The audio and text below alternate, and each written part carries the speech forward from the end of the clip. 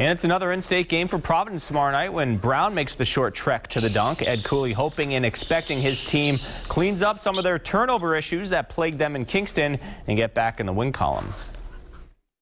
Come to practice with a different mindset and take every game how we do in practice and uh, just, just try to get better. We're a resilient group. You know, we got to really lean on our leadership. Again, you got to give a lot of credit to URI. They played really well, and, and, and they exposed some of our weaknesses that we'll work on and get better. You know, we'll turn the page and uh, look forward to playing Brown.